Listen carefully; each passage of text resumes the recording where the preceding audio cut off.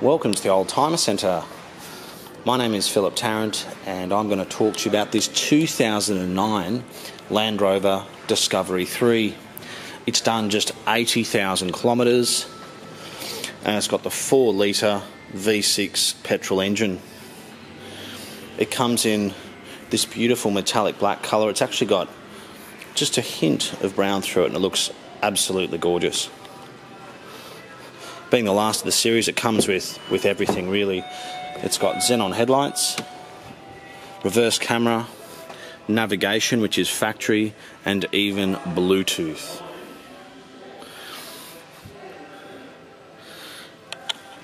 It's also got a rear DVD player, and it drives absolutely perfectly, as you would expect for a Land Rover Discovery 3 with a good history with only 80,000 kilometres. And you can find them online with over 400,000 kilometres as well. It's a seven seater, it's got a tow bar and parking sensors as well. The good thing about the 4 litre petrol engine is it's got consistent power all the way through the rev range, as opposed to the diesel, which may be economical, but you do have that turbo diesel lag in the 2.7. Obviously, it is much improved in the 3 litre turbo diesels, which came out in the Discovery 4. So it's got a split tailgate.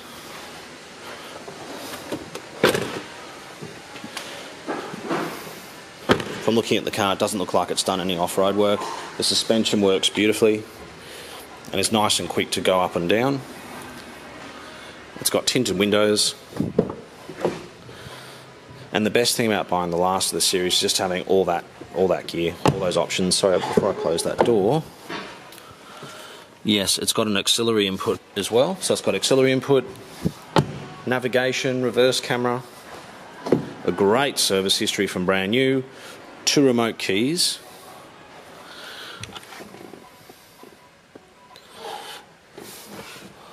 It's got dual zone climate control, obviously, cruise control, which have been standard for a while, the terrain response system, whether you're on gravel, dirt, mud ruts, whatever it might be. It's got a transfer case for low range. It's even got the Harman Kardon sound. So because 2009 was the very, very last of the Discovery 3, they just packed everything into it. It's even got front parking sensors. And there's a lot of, there's actually a lot on this car which you probably won't find on an SE Discovery 4. But I think it's incredible value for money, especially when you consider it's got such a good service history and only 80,000 kilometres.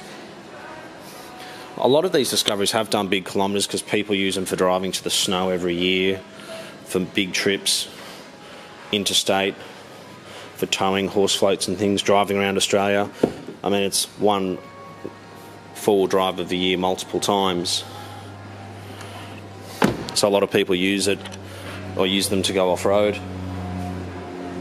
And unfortunately, if you live in Sydney, to get to off road is at least a few hours.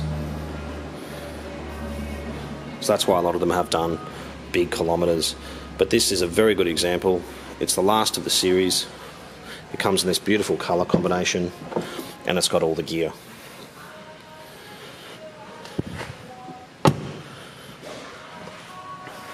If you have any specific questions about the car, please feel free to give me a call. My name's Philip, and um, we've sold a few dozen Land Rover Discoveries and Discovery 3s. So there's really not much we don't know about them. Um, we're located conveniently just 20 minutes from Sydney Airport in Marrickville, and all our cars are undercover in our warehouse with about 80 vehicles. Thanks so much for taking the time to watch this video, and we certainly do look forward to hearing from you.